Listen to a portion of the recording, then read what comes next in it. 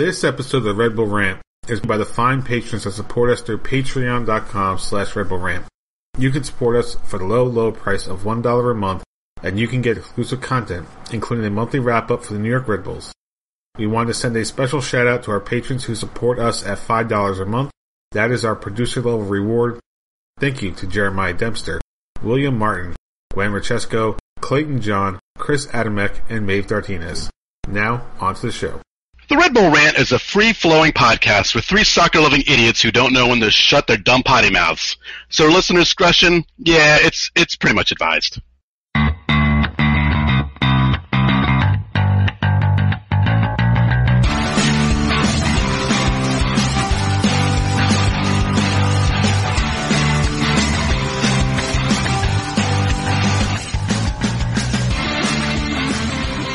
Welcome, my friends, to the Show Never Ends. This is the Red Bull Rant podcast. I'm your host, Jason Iapico. I'm Pat McDonald. I'm Truman in this episode 384. Rap song, rap song. Mm-hmm. So, yeah, it's our season wrap up show. Sort of anticlimactic because it's been a while, but Jay only Yeah. came at the very end. yeah. That's what work and vacation does to you. All right, so let's recap the year. Uh, regular season, I didn't. Jeez, it helps if I would look up the actual sca- uh, record, wouldn't it? Wow, I came prepared for this one.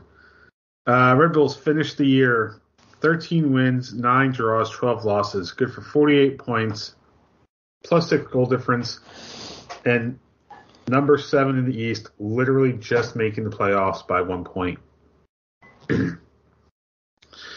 Uh, they lost their one and only playoff matchup to the Philadelphia Union in literally the last minute of extra time in the 122nd minute or something like that.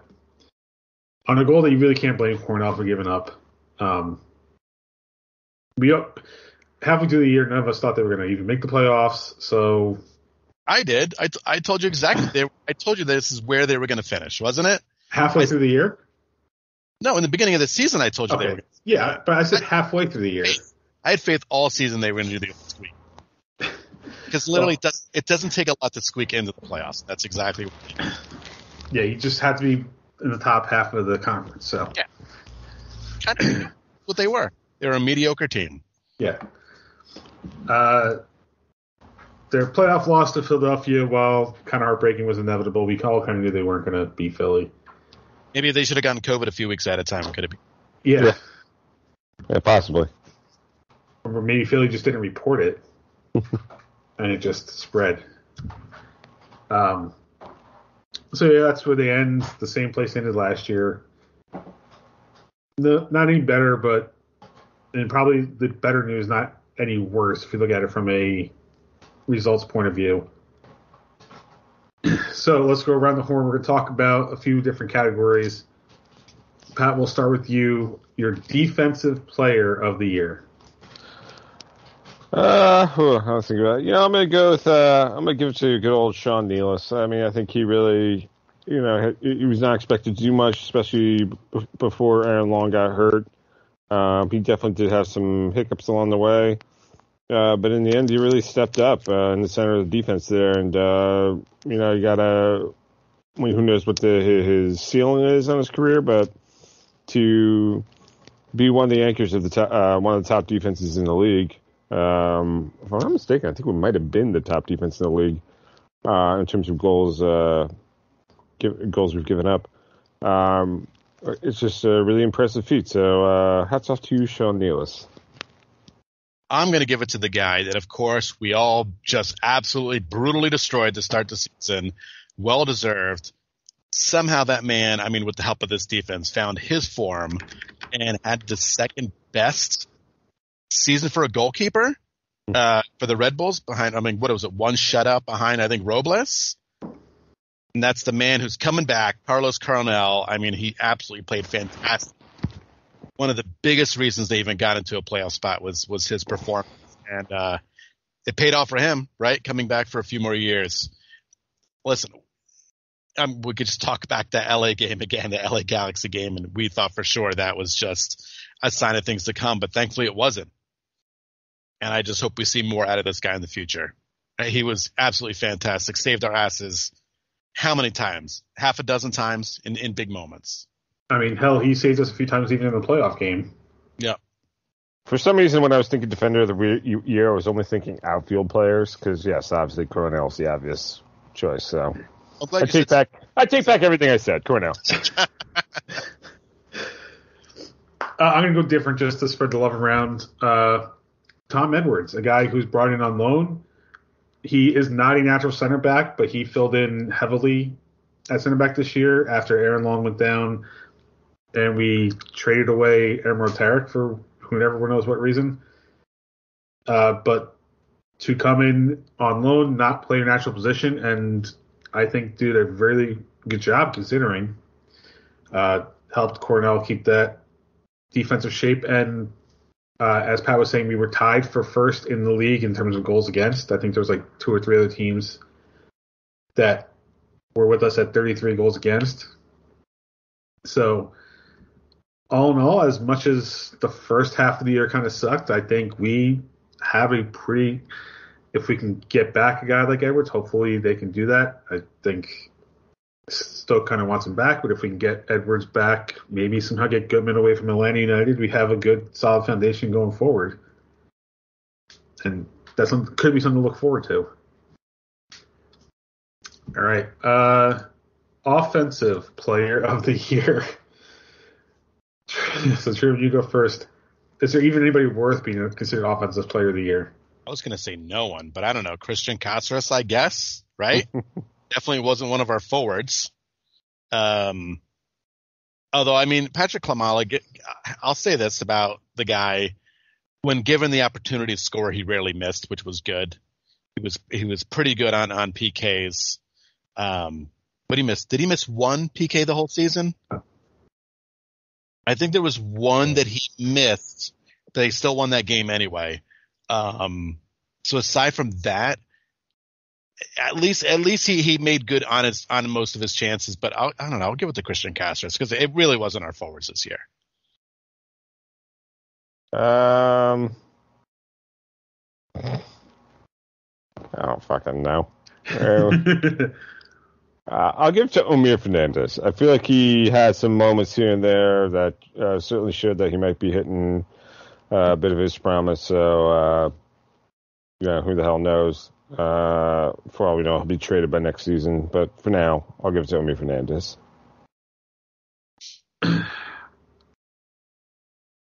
See, I would love to say Patrick Klimala because he is a forward, but his production wasn't that good. so I think I'll give it to Cristian Cásseres as well. Six. I mean, I'm looking at this right now. He Patrick Klimala scored eight goals. Cristian Cásseres scored six. Going from a forward to a midfield, that's uh, no, that's that's not good for Klimala. So right, how many of those were PKs? At least one or two of those. Yeah, probably like half of them. and we really weren't that great of an offensive team. I mean, we only scored 39 goals all year, so it tells you a lot. But Cásseres is a guy where if they can hold on to him again, they can build a, a foundation around him. And I think more more importantly than scoring goals, he was actually a guy that could facilitate in the midfield. And that's something we haven't had recently. If you can get some better pieces around it, that'd be good. But to have someone that can actually facilitate the ball, that, that's important.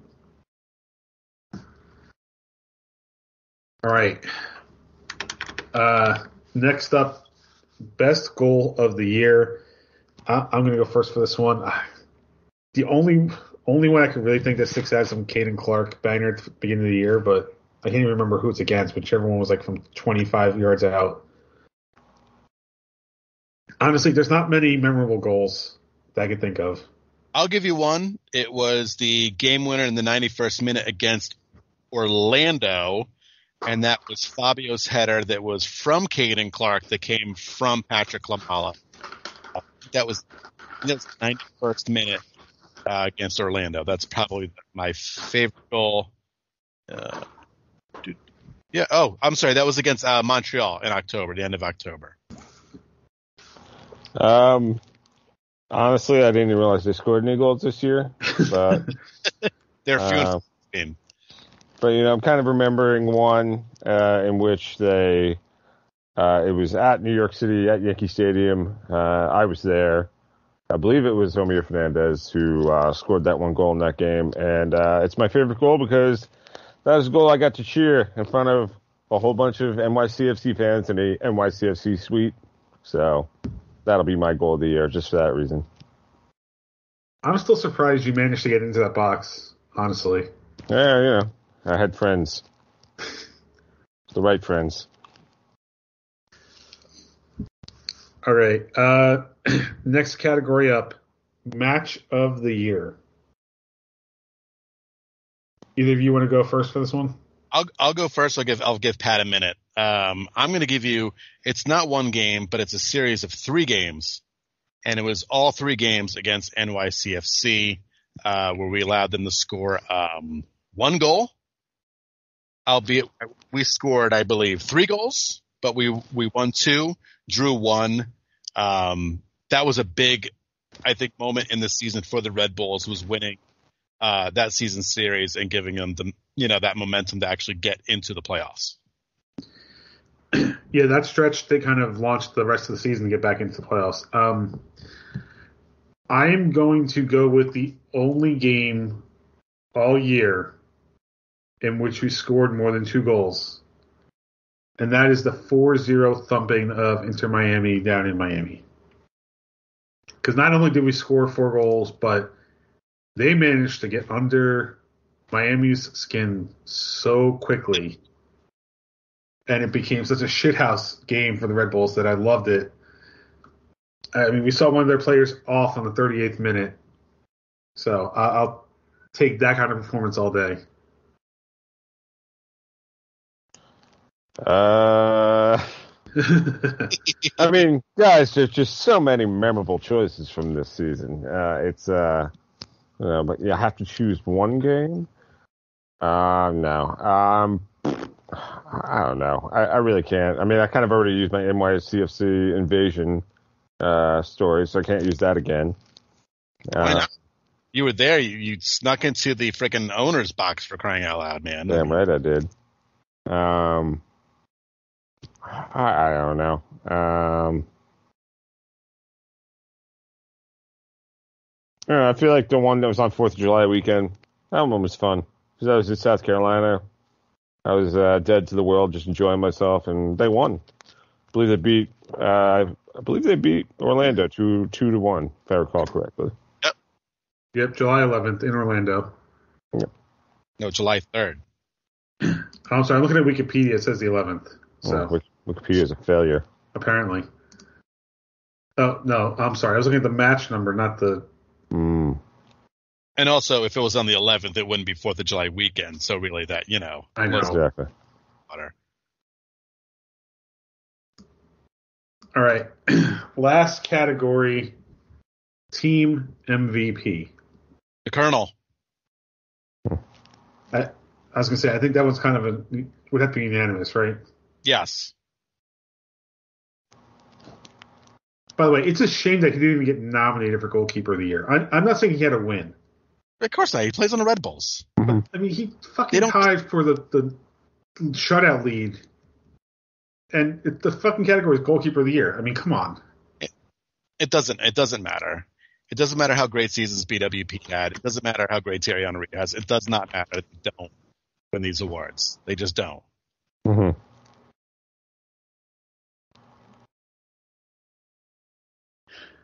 Just a little bit of shame. Get used to it. Get used to it when the Smurfs win the cup this weekend, and then we'll really be buried in this in this area. oh boy. Yeah, I know. Mainstream media is starting to pay a little bit of attention. Yeah, Craig Carton actually mentioned it. Oh wow. I mean, they didn't really give a rat's ass, but they mentioned it the other day because you know they did go to the finals, you know, in the league. Mhm. So Okay, that's stupid. Why can't I sort that? So I'm looking at MLS's website trying to sort by save percentage, and that's apparently something you cannot do. Well, Coronel, Okay. That's all you need to know.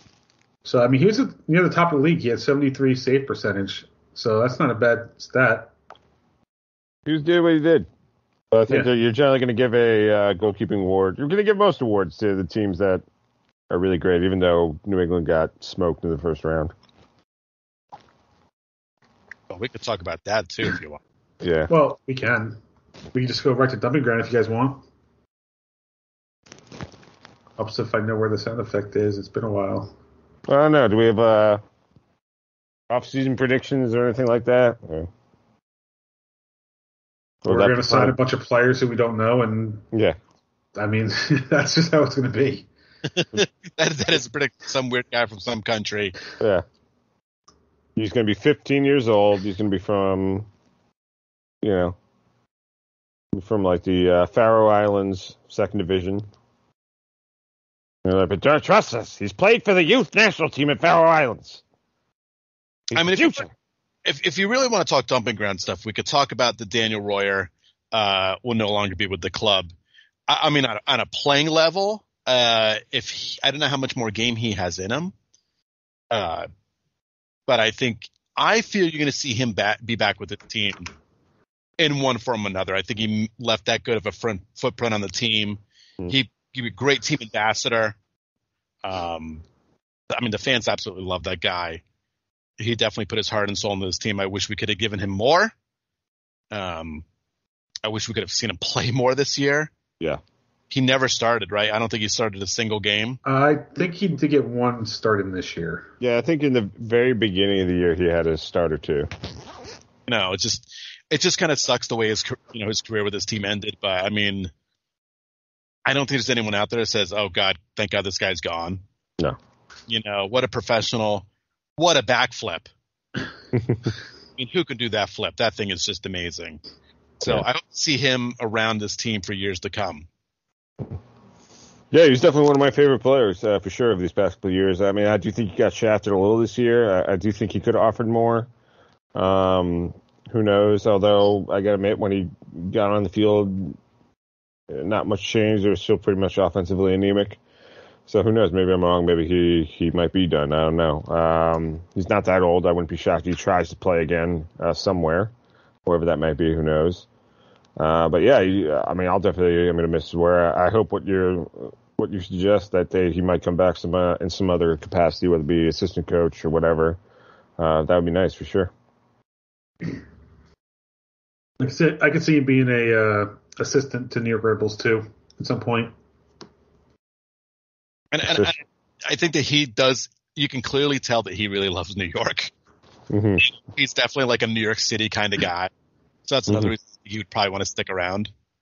You know, like I said, whenever his career, we don't know if he's going to keep playing, but if, whenever his career is done, I think he'll definitely. He's the kind of guy that wants to stick around this area. I feel.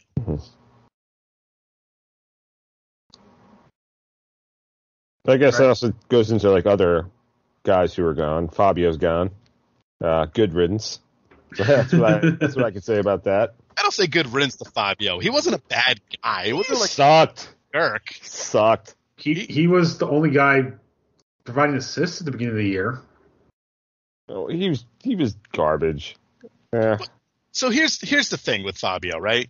He comes in from what a second division team. In Exactly. Which But- means we knew he was garbage. hold, hold on. Let me, I just want to make my point.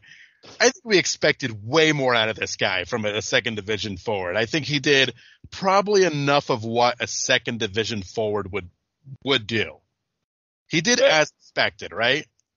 fair enough. I guess fair enough. But oh, he he should be great because of how we actually consider the level of Major League Soccer, which is our problem. Um, I I obviously I wish I think we all wanted more out of this guy. It, it, it does suck that he did not perform because I think we'd all be happy if he scored a shit ton of goals and he was great. Um, that's why I don't say good riddance, but I mean, Pat, to your point, I mean they're not going to miss him that much. Is I think is really they're not really missing anything by him not being on this team. Yeah. well, when they when they signed Vladislav uh, Slovenic from uh, the Hungarian third division. I don't care that he's from the Hungarian. He better be fucking good. I mean, I know he's not going to be, but it doesn't mean I'm still not going to be annoyed when he sucks. You know. I think uh, Jorgensen was finally right. He was finally. He's finally gone. Yeah. Uh, our our now signing of two to three years ago. Um, uh, Kyle Duncan left on a free transfer, which that's a. I mean, I guess the Red Bulls were competing down the stretch, and how do you get rid of your right back when you're doing that? But it just seems like a missed opportunity to not get something in return. Yeah. I, I think Now- the real failure with that one is they couldn't re-sign him last year. So, um, yeah, They better Uh, come full jersey this year because I mean I got to replace my Kyle Duncan one now. yeah, yeah. I, I don't know if there's any like. I mean, I, you might as well get a Sean Davis jersey. I mean, because even if he does not re-sign, because he is a free agent, from my understanding, uh, or at least is out of contract. I don't know if he's in that window where he can sign wherever he wants. But um, I mean, he's at least kind of a forever Red Bull guy. you know, Yeah. you might. Everyone might as well just get Sean Davis jerseys. So let's see. Um, so yeah, and, oh Frankie Amaya, we signed a three-year contract with him apparently. Huzzah! So excited about our eight million dollar midfielder who never played. Yeah. Uh, Gutman's back to Atlanta. I don't know if there's any talk there about potentially bringing him back. I know there's talk about bringing Tom Edwards back, but Tom Edwards seems pretty hell bent on trying to win a place back with Stoke. Which can you blame him? Nah, not at all. I mean, I don't know. What Stoke's in championship right now, right? Right? Yes. Are they near the top of the table, or I don't know. I, I'm not. I haven't looked at the championship table recently. all right? Do a J. I'm, I'm what- doing it. That's what we call. That's what we started calling it when you were away. The J. The, You guys missed that sound, huh? yeah. We did. Uh, Stoke City is currently number six in the championship. So I can see why he would want to try and fight back for a position in Stoke. So it, sixth is the playoff spot, right? Because the first the first two automatically, and then the next four have the, the, the playoffs for Yes. promotion. Facts. Yes. So they're in contention at least to be promoted. There you go. So uh, I have notable. I think that's all the notable players. Yeah, that's pretty much it for notables. Yeah. I think we re-signed some guy who never played, or maybe we, we got rid of some guy who never played. I forget which one it was. Maybe it was one of each. Let's see. So I'm going to read the list. So we bought Coronel. Apparently, it signed Frankie Amaya at some point, which nobody ever announced. So, Mhm.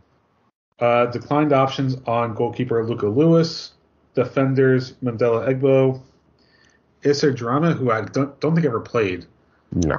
uh, forward Fabio, which this is weird because I thought he was just on a on a loan. maybe there's a buy option.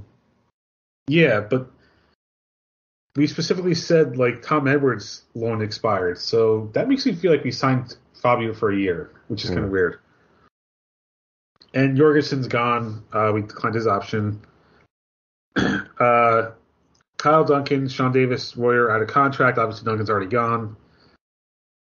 Uh, Tom Edwards, Andrew Gutman, and Youba Diarra have their loans are expired. Uh, we are apparently in discussion to bring back Tom Edwards, Sean Davis, and Issa Drame back for next year. And that's that was it according to the Red Bulls end of year announcements. Well, Dra- Drami, I guess, is the one I'm like, oh, he never played. We're trying to get him back. Cool. Yeah. Yeah. So I think that's uh, that's it. So now it's pretty much we need to sign wingers. We need a right back. We don't have a right back anymore. Yep. Unless Tom, unless Tom Edwards comes back, which I'm not not holding my breath. Um, and uh, we'll see. You know, we'll, we'll stupidly in January be like, "Yep, we're going to make a signing," and then we won't make any. Unless, here's my theory. This is why I'm rooting for blue team this uh, upcoming weekend. If they embarrass the organization, maybe they'll actually give a shit and sign some players. Maybe. I, I, mean, I'm not. I'm not gonna be happy if blue team wins. Don't get me wrong. I'm still gonna be fucking miserable. But if they win, and and win in that shitty stadium.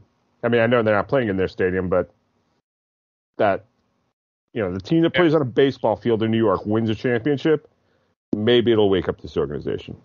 Just maybe, because if I could say something positive, it is that I do think there is a core there. I think they have a core. I think they have a young core they can build around. But now you need reinforcements. You need that proven mm-hmm. playmaker slash goal scorer. That guy that can, we already talked about this, right? The guy that can put it all together. They have a goaltending turned out pretty good. Defense turned out great. They were they were missing literally one thing, and it was scoring more than a goal a game. The Mhm. only thing they were really missing at the end of that season. Yep. And if they had anyone who could score a goal in Philadelphia in 90 minutes, they would have been on to the next round. Mhm. Plain and simple. Um, so you're right. I mean, what do they have to do to go get? I think that one really, really good player that they that they, I don't I don't know. Max Scherzer's already signed with the Mets, so it's not going to be Max Scherzer. Can't get Max Scherzer. He's gone for two years, and then maybe the third year with the option. I mean, Daniel Jones might be available next year. I don't know. He's- He's Yes, he's got some wheels. He's got some wheels. I mean, there's this very simple solution. It's called opening up the, the pocketbook and spending some money. We haven't seen that in a while. I know. That's why we're signing second division Brazilian players to designated player contracts. You know. Mhm. All right. Um, let's see. Actually, speaking of designated players contracts, buy everyone who is a designated player contract, buy them down with Tam and Gam to have those slots available for better players because there is no one on this team who's a designated player right now who deserves that de- designation. Nope. No, I think the only one is technically Klimala too. Is Yearwood still?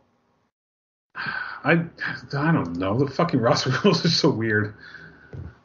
Also, MLS just change your roster rules and put a strict salary cap in. Enough already. Yeah, let's be done with it. They'll never do it. I don't know. The I don't think the Wikipedia page is the designated players, and it's probably hard to find it.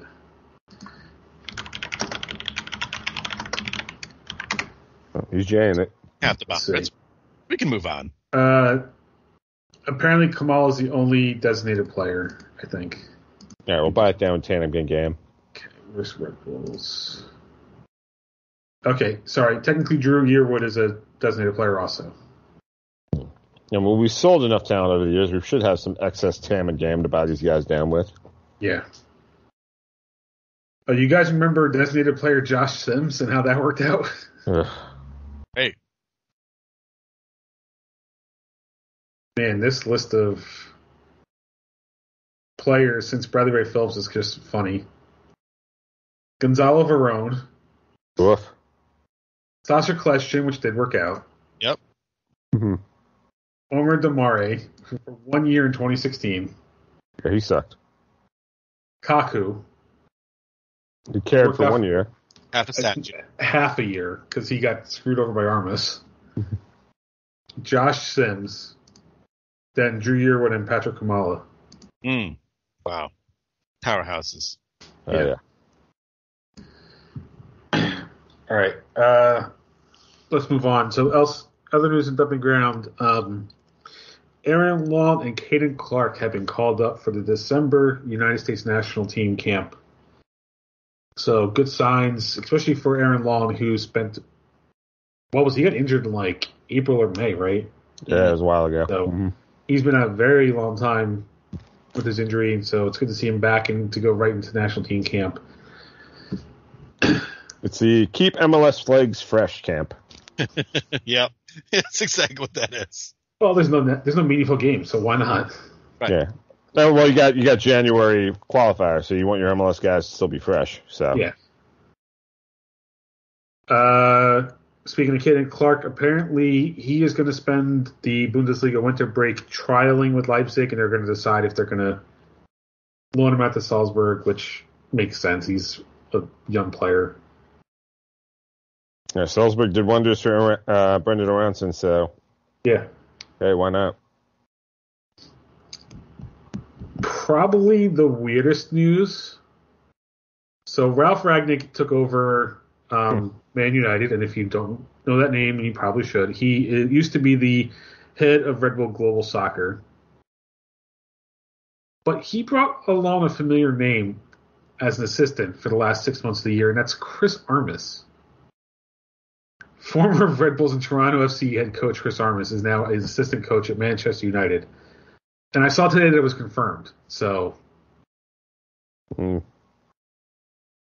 Uh, apparently Rangnick also approached uh, Gerhard Struber and uh, Bradley Carnell, who both I th- it sounds like said no, thank you. And apparently he is talking to Jesse Marsch to to become an assistant with the team. You leave our Hans Gruber alone. I mean, it's almost Christmas time, all right? We know what that means. What idiot put you in charge? You did. Yeah. Yeah. Hans, Hans Gruber took some month old ground beef and made like a Big Mac out of it, you know? Yep. It's exactly what he did. I mean, that's what he was brought in to do, right? Yeah. Exactly what he was brought in to do.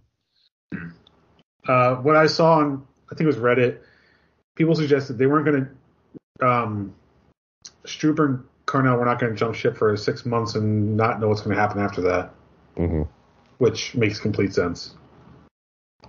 And I hope Jesse doesn't go on that staff. I feel like, I mean, I, I, I feel like Jesse could find a good assistant coaching job. Maybe should do it with somebody else, you know, get a new perspective, uh, learn something different. You know, I think that might not be a bad thing for his repertoire.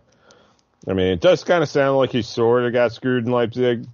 You know, it sounds like he even told Red Bull Global, like, hey, might not be the best guy for this job. And they sold off some of their best players right before the season. Didn't sign any reinforcements, which, hey, that sounds familiar.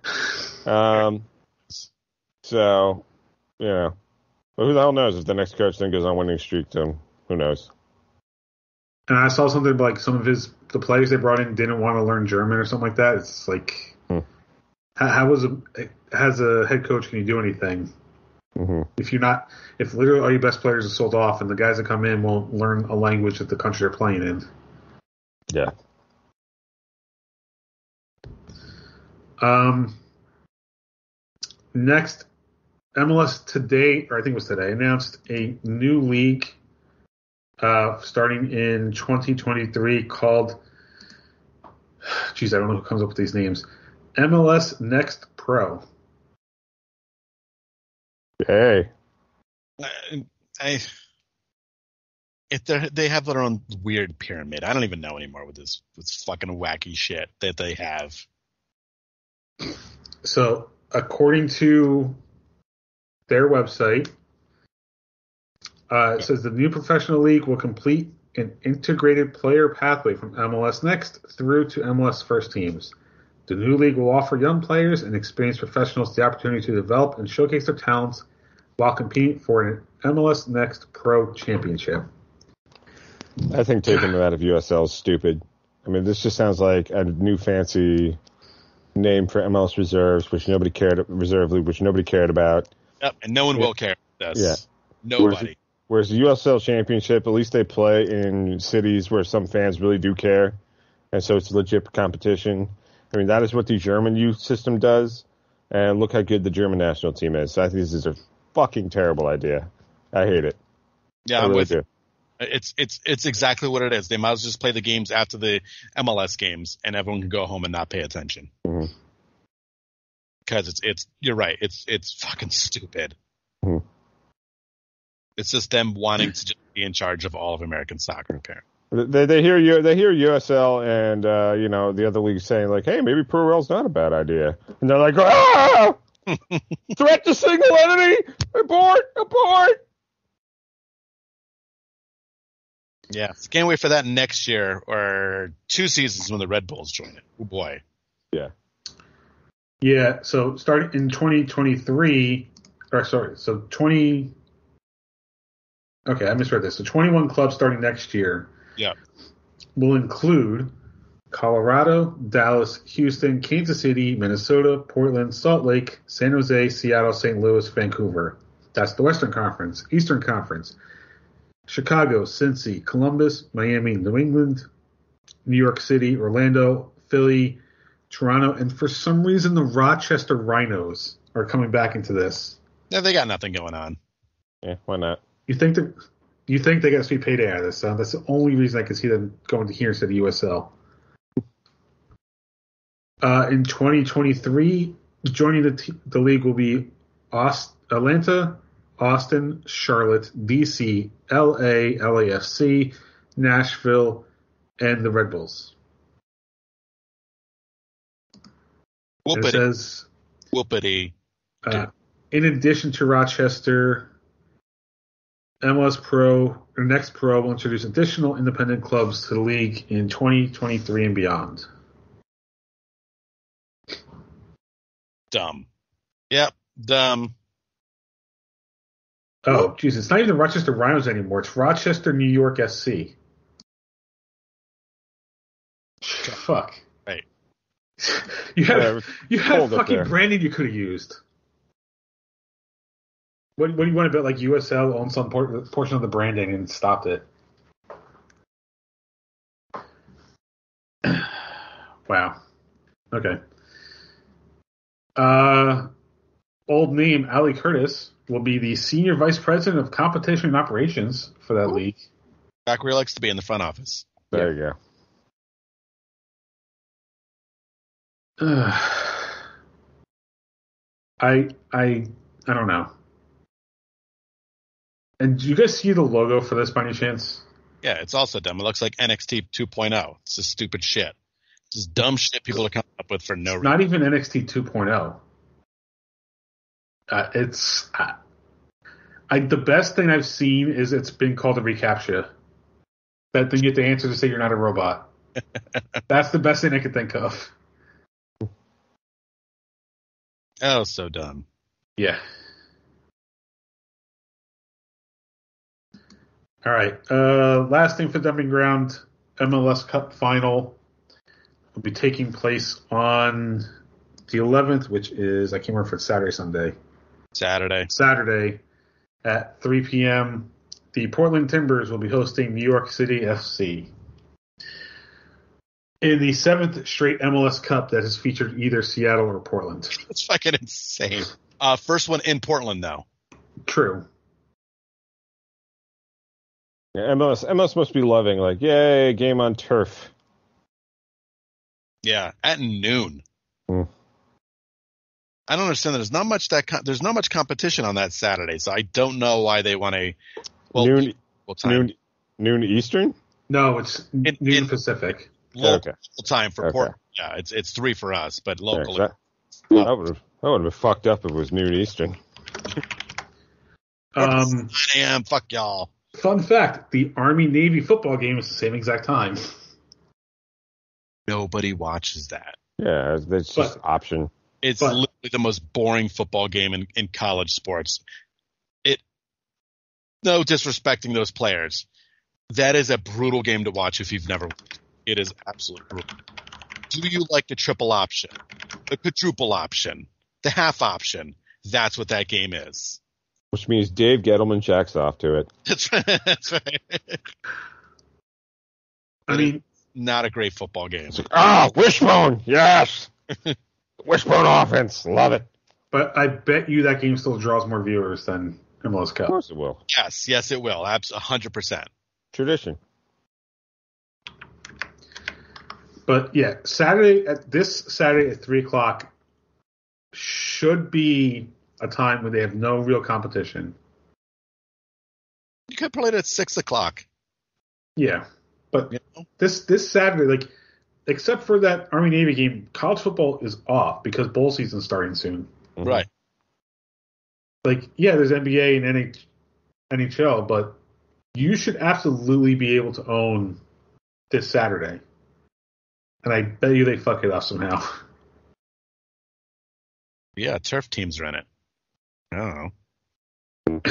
Yeah, you have a team that plays in a baseball stadium playing at a team that playing in what used to be a baseball stadium. But they made it nice. It's just Oh no, Yes. Port- Portland Portland did a good job of converting that stadium back to they, they soccer, redeveloped but- it. Yeah, it's just it's they need to put grass in. Come on, give Yeah. with the times. apparently it was something with like the drainage of some river nearby, and it affected the where the water table is or something like that. So like if it rained, it would really fuck up the fields. I don't know. I just yeah, seeing this game on turf is the only saving grace is that the the Timber Army is going to be a spectacle, Oh, it's nuts. It's going to be a fucking wild scene there. and that's that's what's really going to save the the TV yeah, is having the Timber Army. it's going to look good.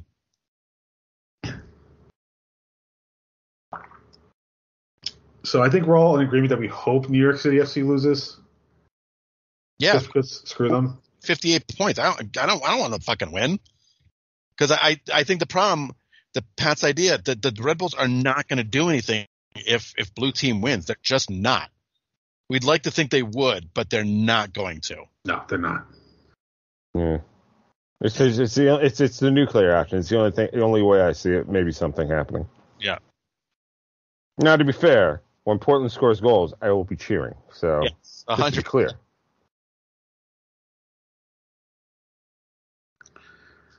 You know what's? I wonder what the uh, odds are for this game.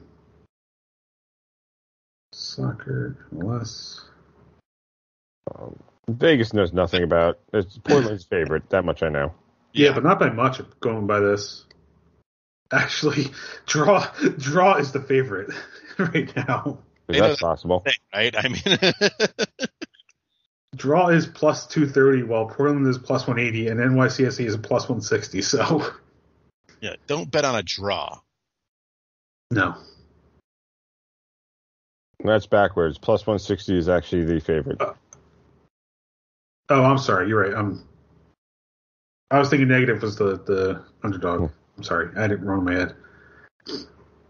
Okay, so New York City's the favorite.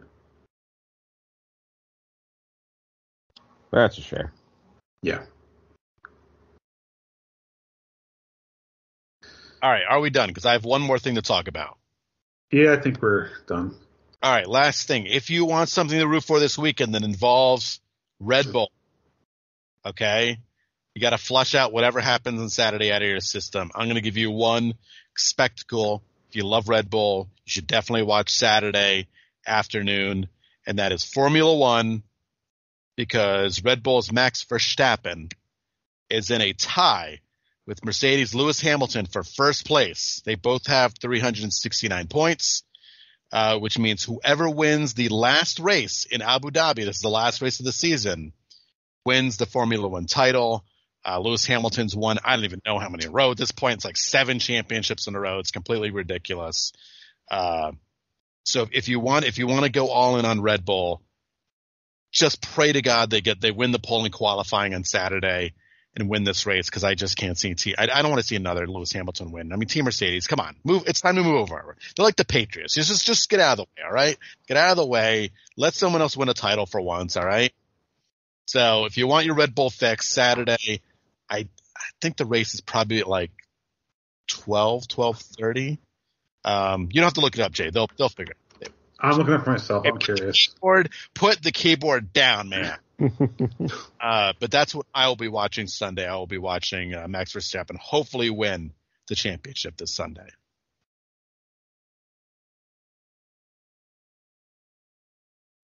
All right, Pat, you got anything before we head out? yeah, I'm all I'm all uh, I'm all set. All right. Since it's the, the wrap up show, I'm not even going to bother going into all the other stuff. Um, after we're done, I do have to talk to you guys about something. I have an idea, but I got to talk to you first. Uh oh. Uh, All right. So for Pat Truman and myself, this has been episode 384 of the Red Bull Rant. Thank you guys for tuning in, and we'll see you next year.